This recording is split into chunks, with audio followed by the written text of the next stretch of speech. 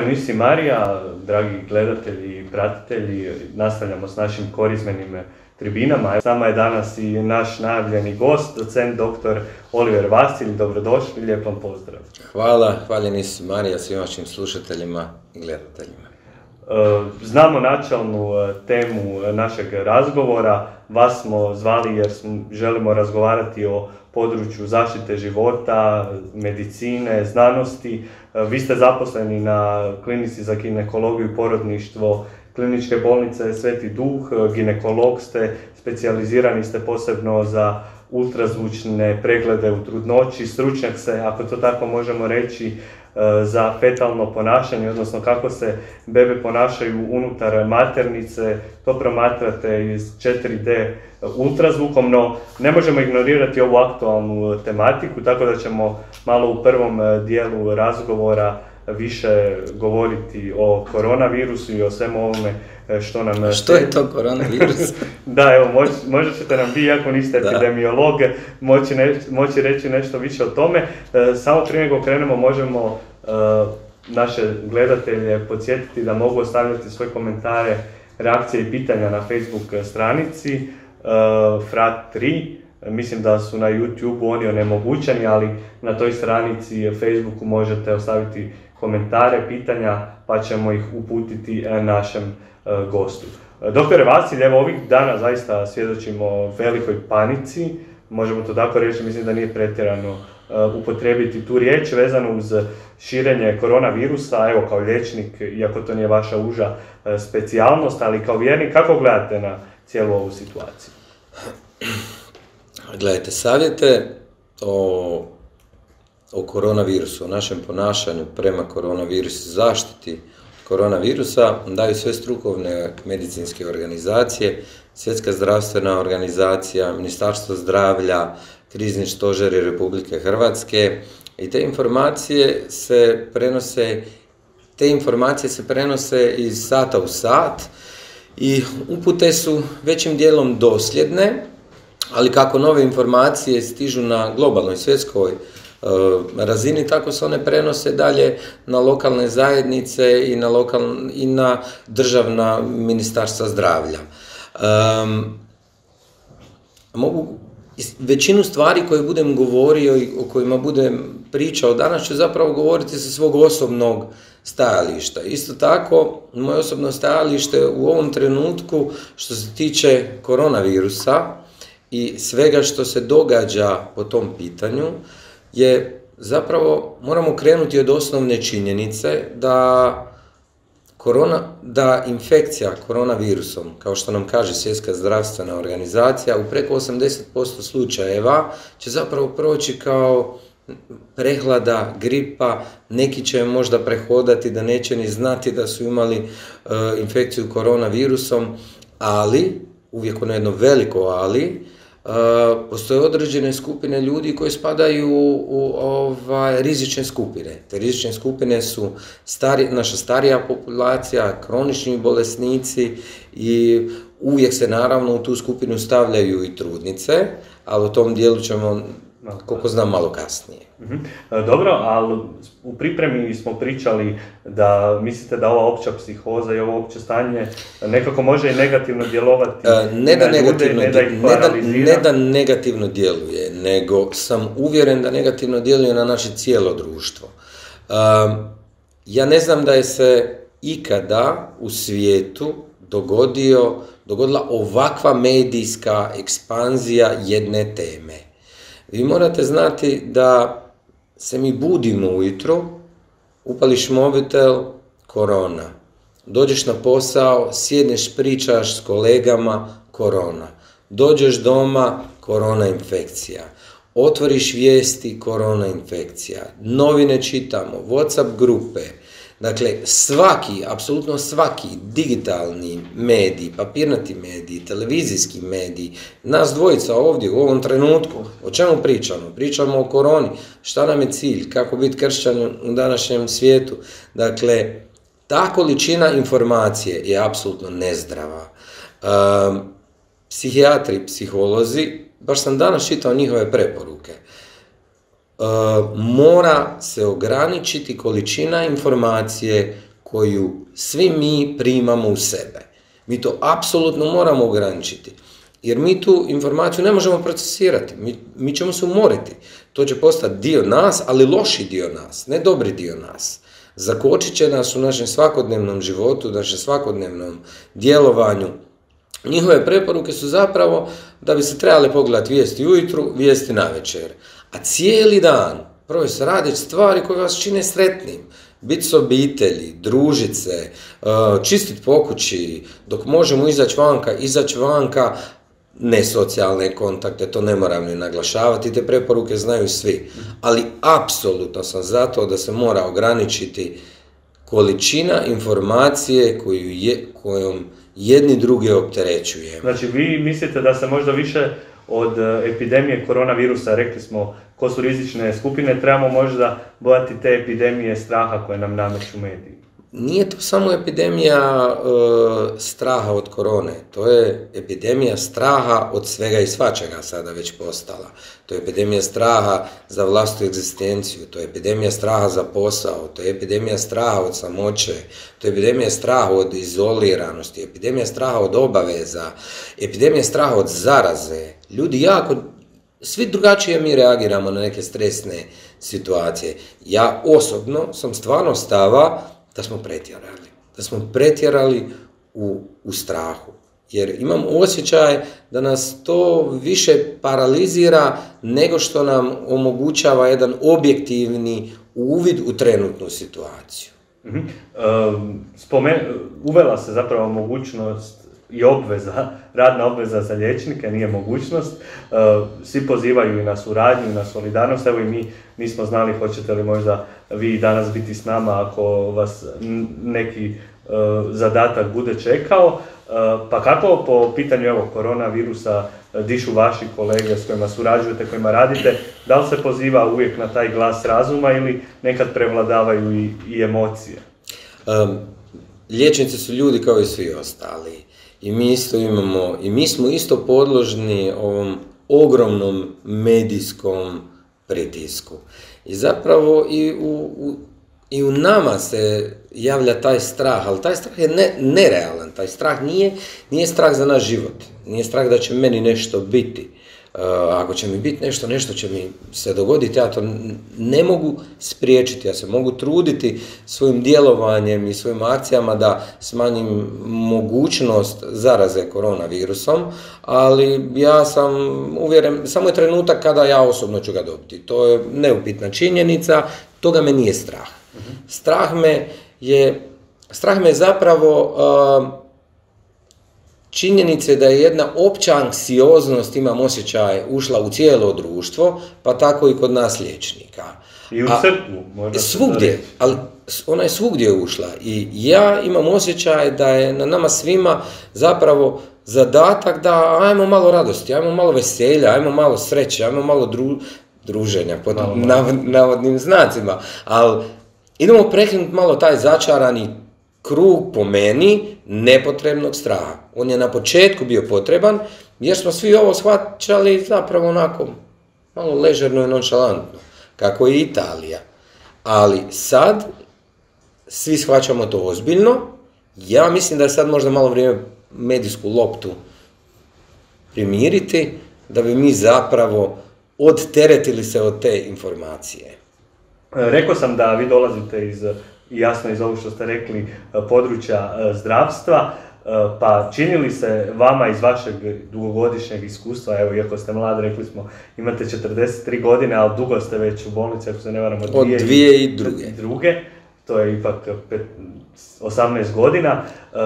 Je li moguće i na koji način opstati kao vjernik u ovom svijetu, pogotovo u svijetu u kojem se vi krećete?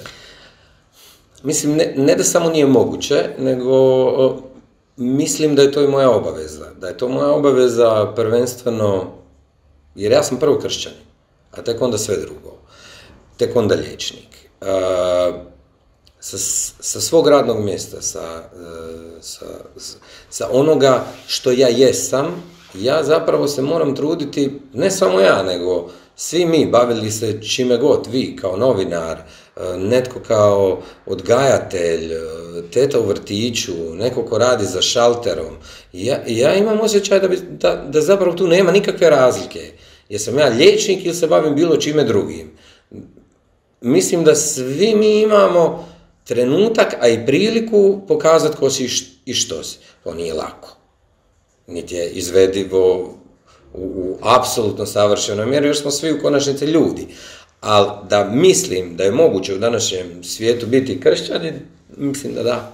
Dobro, a koliko vas eh, ta vaša vjera potiče da u onom što radite u svom znanstvenom radu, profesionalnom radu kao liječnika, date uvijek nešto još više od sebe, da budete što um, izvrsni. Je vam to poticaj vjera možda u tom smjeru? Vjera i obiteljski odgoj, a opet taj obiteljski odgoj polazi iz vjere. ja sam rodom iz Međugorja, moji su u Međugorju žive i onog trenutka kad sam ja otišao na, na, na fakultet, poruka moje mame i tate prema meni je bila, sine, kogod bude preko puta tebe, sjeti se da to mogu biti ja. I, e, to nije lako. To nije lako jer dan traje dugo, ljudi ih ima svakakvih, a zapravo je to preporuka koju možemo svi poslušati. Pa ponašaj se prema onom koji se nalazi preko puta tebe, kako bi volio da se neko ponaša prema tvojoj majci, ocu, bratu, sestri, čeri. Ja se trudim, nekad mi ide malo bolje, nekad ide malo lošije, to mogu reći samo moji pacijenti kako, mi to ide. Dobro, izabrani ste, ako se ne varam, za najlječnika, pa očito je to potvrda da se radi dobro, ili? Koliko pa mislim da je. Pa, pa lijepo je to. Lijepo je to. A zapravo to, te digitalne nagrade, to, to uvijek bježimo od toga. Najljepše ti je kad hodaš ulicom i neko te zaustavi ti nemaš pojma ko to je, ali ti vidiš da te taj čovjek gleda i da mu je drago da te je vidio i kažeš hvala. Hvala vam doktore za to, to, to i to, a ti se ne sjećaš ničega što je bilo, ali ti vidiš da je tim ljudima to bilo u tom trenutku izuzetno bitna situacija u životu. Evo recimo, to je jedna velika nagrada. Mnogi kažu da je ginekologija nekako privilegirano zanimanje, jer ste prisutni u najveličanstvenijem trenutku života, dolasku novog bića na svijet. Pa doživljavate li vi to tako kako mi to vidimo ili već je to ušlo u rutinu? Nije to, ne, ne to, to, ne može ući u rutinu, ali um, u svakoj struci gdje imaš ekstreme sreće, onda imaš i ekstreme tuge. Tako da to dvoje je neodvojivo jedno od drugoga. A onda ovi lijepi trenuci su ono što te diže, a oni tužni trenuci su ono što stvarno, stvarno te kod čovjeka ta, ta, ta tuga iznenadi ih. Jer pa se smrt bebe u maternici je moguća, postoji i ona je statistički takva kakva je i ona se nikad promijeniti neće jer mi ne znamo razloge zbog čega se to događa. Ali kad se to dogodi jednom bračnom paru, to je jedna grozna trauma, ti si dio nje a u tebe se gleda širokim, velikim, otvorenim očima, doktor Vasilj, zašto? A to zašto samo možete nabrojati, dakle, etiološke razloge, a to su razlozi zbog čega se nešto dogodi, a oni često puta nisu adekvatni. Ima li onda tu neku duhovnu dimenziju? Važno, kako vi doživljavate, evo, kad se i takvi uh, tragični događaji događaju? Uh, pokušavam da to ne djeluje na mene, ali ne ide. Evo, trudim se godine u godinu, ali ne, ne možete ostati, uh, ne možete ostati mirni uz toliku tugu i, i toliku traumu. Ja imam sreću da imam tu podršku u supruzi doma, koja zapravo ja kad dođem, ona s vrata zna šta je bilo. I ona je tu jedna velika emotivna podrška. E, s vremenom, s iskustvom, ipak bude malo lakše to sve. E, duhovna dimenzija toga svega, apsolutno da. Ja mislim da ja kao liječnik tu ne moram biti da, da emotivno grlim i tješim nekoga, a sa svojim riječima, sa skidanjem krivnje, jer Prvo ono što mi imamo, šta sam ja napravio da je do ovoga dovelo. Nisi napravio ništa. Dakle, nekako imam osjećaj da je, da je mene kao, da je moja obaveza kao liječnika kraj te žene zapravo da budem njoj jedna podrška da ta krivnja se makne sa bilo čega što je ona mogla napraviti, um, jer ta osjećaj, osjećaj krivnje je nešto što može izvesti čovjeka. Mhm. Uh, spomenuli ste kad ste birali specijalizaciju uh, da je jedna od tih specijalizacija izazivala brojna moralna pitanja, pa uh, ste malo to htjeli staviti u stranu, ali moram vas pitati u moralnom smislu ginekolog se susreće sa zahtjevnim pitanjima, temama, nije jednostavno se u tom smislu baviti. Pa kako ste, ste se prema tom postavili? To nije gotov čin. Dakle, to ne mogu vam reći da ja imam cijelo svoje biće moralno posloženo i da znam točno na svako pitanje koje ćete vi meni postaviti odgovor i da ću ja čvrsto stajati za svakog svog stava. To vam ne mogu reći. I drago mi je da sam s godinama zapravo došao do toga da to ne smijem od sebe ni očekivati. Ono što je zapravo dobro da mi rastemo u svakom pogledu. Dakle, iz dana u dan rastemo u svom e, znanju, rastemo u svojim moralnim načelima, vjerskim načelima koja se mijenjaju s godinama, mijenjaju se sa susretima s određenim situacijama. Tako kao što sam već rekao, sad, nakon već 18 godina, malo je lakše neke situacije moralno sam sebi posložiti ja nisam tu da njih poslažem svojim pacijentima moralno. Ono što je moj posao kao liječnika u toj cijeloj priči je zapravo dati jednu objektivnu informaciju, cjelokupnu informaciju, baziranu na, na znanju, koje, znanju koje imam i reći da baš nisu stvari crno-bijele i da ne možete niko reći da će to baš biti tako kako knjige kažu, jer iznimke uvijek postoje. To govorim za prognoze. Mhm. Dobro, ali htio sam reći, taj dio, rekli ste ne možete nametati svoj vrijednostni sustav. Ne, to ne smijem. Da, ali jeste li imali nekad e, iskustvo da je osoba dijelila iste vrijednosti kao i vi, pa da ste ju mogli u tome ohrabriti? Da, da, da, mhm. da, svakodnevno. Svakodnevno, jer to se osjeti. Mislim, već nakon nakon godina rađanja ovim poslom, kad pogledam čovjeka u oči, već oko prilike mogu znati kojim smjerom bi oni išli kod nekih odluka.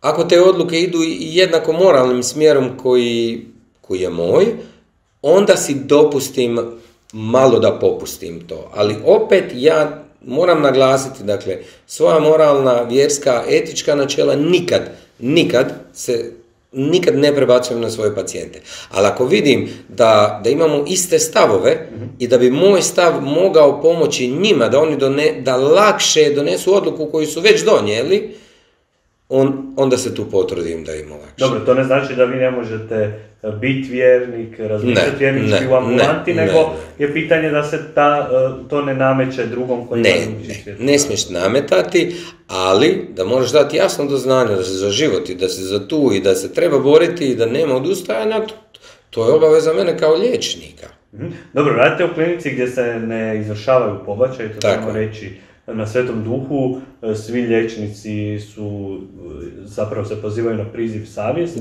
i ne izvršavaju se e, pobačaj u klinici Sveti duh. Pa me zanima, evo, razgovarate vjerujem i s kolegama na drugim mjestima, Postoji li možda pritisak prema liječnicima koji možda rade u nekim drugim klinikama, ako to ne žele raditi, da moraju raditi? Iskreno, javni pritisak da, radni pritisak ne. Dakle, javnost pritišće liječnike, ali bolnice, ravnatelji, pročelnici klinika ne. Ja u svom profesionalnom radu nisam apsolutno nikada osjetio se diskriminiran zbog mojih vjeralnih zbog mojih moralnih i, vjerskih načela i činjenice da sam ja onog trenutka kad sam postao specijalizant, ja sam se izglasio da ja to ne želim raditi. E, dobro, a koliko vam onda ova pozicija da radite u klinici gdje se ne vrše pobačaj olakšava da se ne morate boriti možda i sa A lakše je, naravno da je lakše. Imate tu podršku kolega, predstojnika i svi? Apsolutno da. Trudnoća, često se to isto provlači, pitanje vi ćete reći o to floskula ili činjenica da se trudnoća promatra često kao bolest, a ne kao blagosloveno stanje. Vi ste rekli nije sad samo začeti, mi ćemo roditi, da je to ipak puno kompleksnija stvar, svakom pacijentu, svakoj budućoj majci treba pristupiti pojedinačno, pa evo, jel, kako vi gledate na trudnoću? Um, dakle, jako, jako često dolaze trudnice, E, trudne 7, 8, 9, 10 a to su prvi pregledi u trudnoći. Ja mislim da je moja odgovornost kao subspecijaliste fetalne medicine da zapravo prekinem taj jedan začarani krug opet straha. Vraćamo strah od korone, strah od trudnoće, strah od loših stvari koje se mogu dogoditi, a zapravo, dragi Bog, je cijelu tu prirodu posložio fenomenalno jednom dokazani pozitivni kucajevi srca imate 90% šanse roditi živo zdravo dijete. Mislim, ja bi igrao kladion, ne igram, ali bi igrao kladioncu da imam takve šanse po cijeli dan.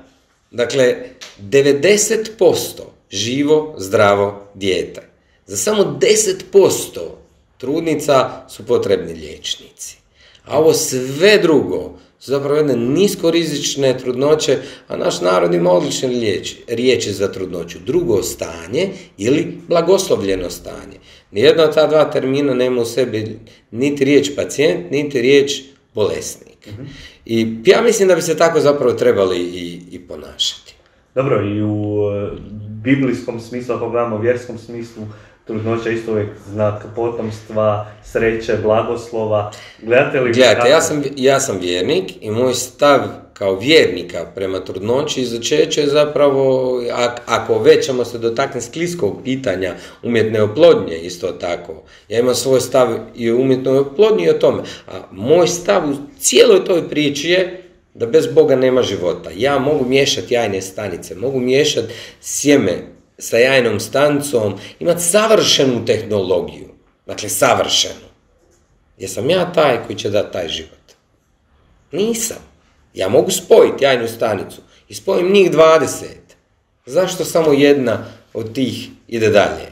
Po meni je to Bog. Dakle, Bog je odlučio taj ide dalje. A On nam je pak dao znanje da zaobiđemo taj medicinski problem. Tako da, po meni, u svemu tom imamo imamo prst našeg dragog Boga.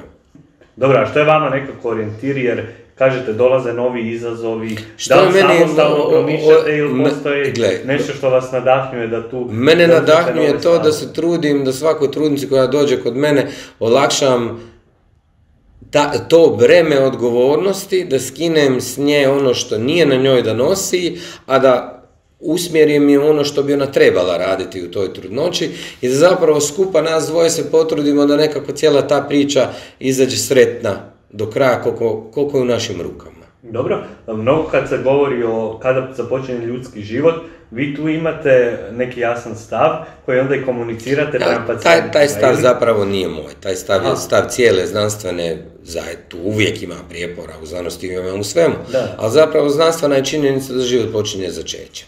I on ima svoj, svoj kontinuitet i, i naš cijeli život je zapravo jedan veliki potencijal. Ovaj naš razgovor međusobni je trenutno potencijal za nešto. Ja se nadam za nešto dobro, ali potencijal je sve. Oplođena jajna stanica ima genetski i kromosomski potencijal jednog dana da se razvije u ljudsko biće. Embri, fetus, novorođenče, Dakle, to, to, su sve, to je sve kontinuitet jedno te istog razvoja. Ne? Nema, nema tu jedne točke u kojoj ćemo moći reći, povući, sad smo ljudi, sad nismo. Ne znam, evo, nas dva hodamo, pijemo, jedemo, sješću auto, imat ću prometnu, neću moći više ništa to. Ili ja prestajem biti čovjek. Jer sam apsolutno ovisan o svima drugima. Možda moja kvaliteta života meni više nije onakav kakav bi ja htio, ali to ne znači da ja više nisam čovjek. Dobro, a što rade i čim se bave uh, bebe u trbuhu? Hm. Uh, rekli smo da vi baš ste promatrali i to vam je nekako područje interesa fetalno ponašanje. Uh, imate današnjom tehnologijom mogućnost vidjeti, pa evo, čisto sam neke studije kako se blizanci ponašaju, ali dajte nam vi prenesite, što ste se sve nagledali? Um, jako puno stvari se može vidjeti sa 4D. Uh, mhm. Dakle, 4, 4D je zapravo jedna trodimenzionalna slika u skoro pa realnom vremenu. Dakle, ultrazvučni aparat, e, jedan trodimenzionalni objekt, kao prvo ultrazvuk je inače samo jedna linija, jedna slika, jedna ravnina. Ali kad napravimo jako puno jedno te istih presjeka, nešto slično kao CT, možemo dobiti trodimenzionalni prikaz nečega. Ginekolozima taj 3D i 4D zapravo nije pretjerano potreban za dijagnozu, on je više tu za roditelje da roditelji mogu vidjeti ono što mi kroz one sivo-bijele, crne točkice već vidimo na ekranu. Dakle, to je prvenstveno radi roditelja, radi bračnog para. Ima nekih situacija u kojima mi nama isto klinički može jako puno pomoći, ali zapravo prvenstveno radi roditelja i savjetovanja roditelja. Može se vidjeti jako puno toga. Mogu se vidjeti prva treptanja, prva zjevanja, pokreti ruka, noga, prstiju koji, vjerovali ili ne, zapravo su identični od već 12. tjedna pa do poroda. Nema neke velike promjene. Svi pokreti koje znamo, znamo već 12 tjedana. Oni su što dijete raste, što fetus raste, oni zapravo postaju koordiniraniji, kompleksniji, ali se ne, ne mijenjaju. Oni su, oni su kontinuirano tu. I poznato je zapravo da je fetus motorički spretniji od novorođenčeta. Zato što onog trenutka kad se rodimo imamo breme gravitacije. Da, nas vuče. Vuče, zaljepi nas dole i sve ono što smo mogli u maternici zapravo nam treba dobri par mjeseci da kao novorođenče opet motorički naučimo. Dobro, ali zabavljali li ste E, fetusi u maternici. do, sad još, do, do, sada još niko nikog nije pitao. Aha. Nismo dobili konkretan odgovor. Ali ono što vidimo, vide se zanimljive situacije. Recimo jedna kontinuirana stvar koju vidim da, da fetus koji zjeva ima refleksni pokret stavljanja ruke na usta. Mhm. E sad, Jel to bonton, intrauterini, jel to urođeni refleks, jel to zaštita da nam neke od ko zna kad neke bube ne ulete u usta kad zjevamo, ja to ne znam. Mislim, to su sve jedna zanimljiva područja koja mogu biti za neka istraživanja.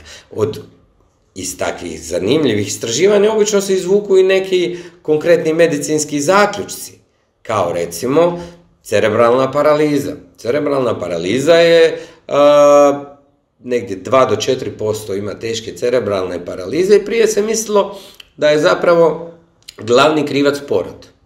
Dakle, neko oštećenje u porodu, ali što vrijeme ide dalje, zapravo sve epidemiološke studije su dokazale da preko 90% teških cerebralnih paraliza ima neki uzrok u intrauterinom miljeu. Koji je on? Mi to ne znamo.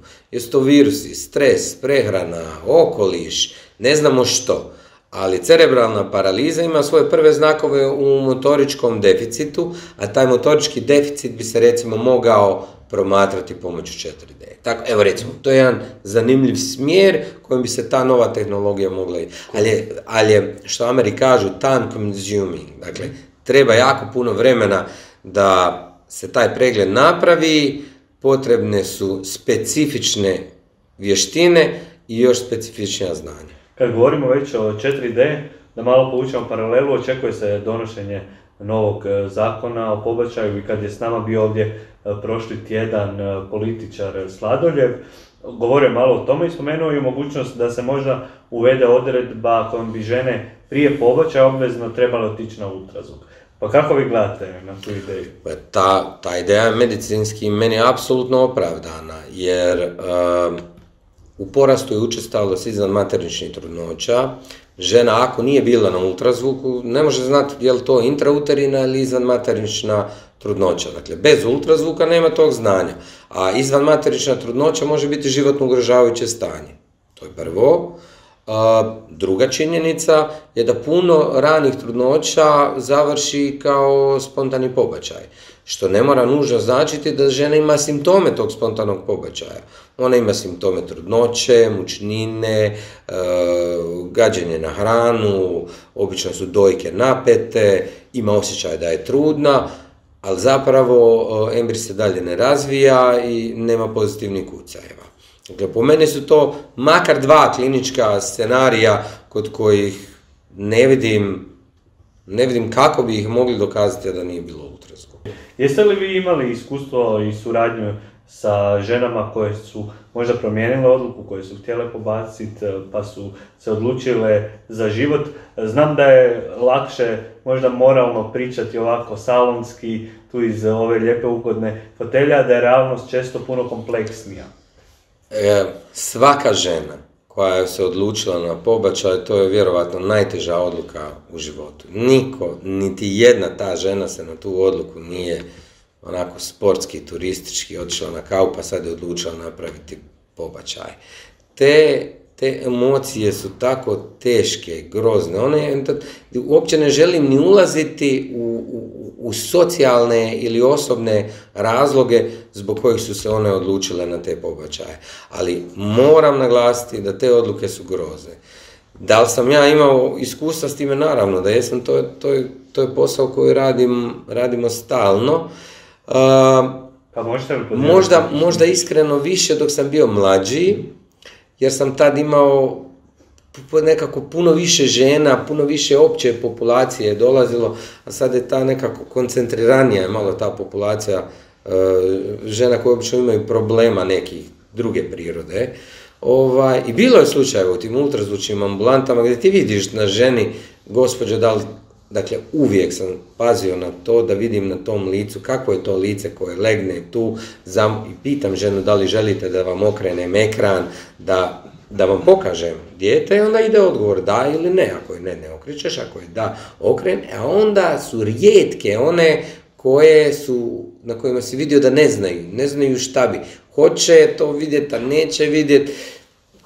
Nema baš puno žena za koje vam mogu decidirano reći da ja znam da su odustale zbog nečega što sam ja rekao ili napravio, to je svega par slučajeva, ali za tih par slučajeva znam jer su mi žene rekle da zbog tog i tog nisu otišle, a ja nisam tu ništa jako puno napravio. Samo sam rekao da je sve u redu, da, da, da i, i, to okretanje ekrana i ta, ta vizualna informacija ženi koja je to zapravo željela i bila na vazi je očigledno bilo dovoljno da se promijeni mišljenje. Je li toga bilo više? Možda i je, ali za par njih znam da su promijenili. Znači nije tu bilo nagovaranje, nego je ne, takav ne, ne, gdje... ne, ne, mhm. ne, jer ja mislim da nagovaranje nema, ne, tu nema nagovaranja. Ja to kao prvo, kao liječnik ne smijem raditi, ono što ja smijem, to su bile ove situacije. Kad osjetiš da je neko na vagi. Ako neki tvoj savjet toj osobi može pomoći da donese pravu odluku, pa da je jedna dovoljno je. Dobro, ne možemo relativizirati ono što znamo o vrijednosti i dostojanstvu svakog ljudskog bića od njegovog začeća, no spomenuli ste da često, evo, možda i u tim raspravama i pro-lifera, evo, mi sad ovdje razgovaramo, se e, postavljaju stvari dosta onako crno-bijelo, no da je stvarnost često onako možemo tako reći, 50 nijansi sive. Pa onda... Jo, još i više. mm Gledajte, ti, svaki slučaj je poseban, svaki, svaka situacija klinička, govorimo o teškim kliničkim situacijama, nisu jednostavne i tu nema, nema tu crnog bijelog, to je sve sivo, malo sivog, malo više sivog, malo bijeloga. Uh, što reći nekome koga znaš da je trudan, znaš da ta trudnoća nije u redu, znaš da su šanse preživljenja ravne nuli, kako savjetovati tu osobu? Što je reći? Nije na meni da donesem odluku, na meni je da dam znanstveno dostupnu informaciju koja toj pacijentici može pomoći da donese informiranu odluku. Dakle, to je definicija informiranosti pacijenta. Na meni nije da ja donosim odluku ali na meni je da kažem kakve su prognoze, kakve su za život prognoze, kakve su očekivanja i što kaže znanost o tome. A, a na svakom bračnom paru je da donese odluku koju oni misle da je prava za njih. I to stvarno nisu jednostavna i nema crno-bijeloga.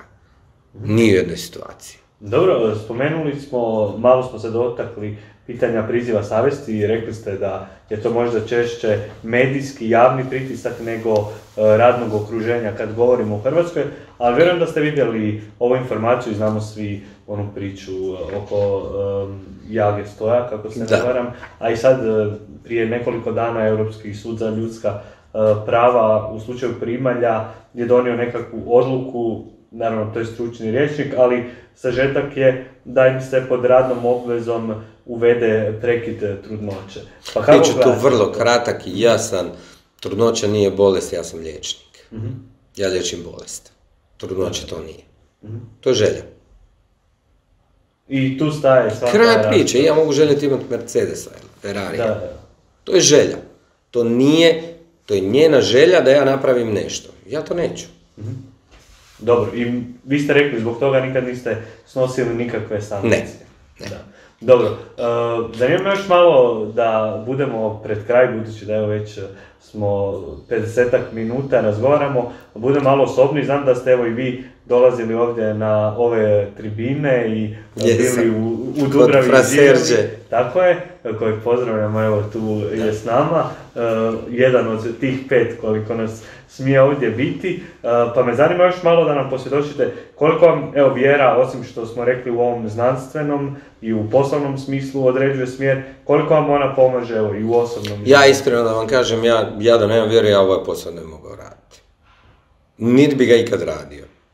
Um, me, što se mene tiče, ja imam sreću da je i supruga moja isto veliki vjernik i nama, nama je to dio života. Ja to, ja ne mogu zamisliti, ne bi mogao zamisliti zapravo ništa u svom životu bez vjere.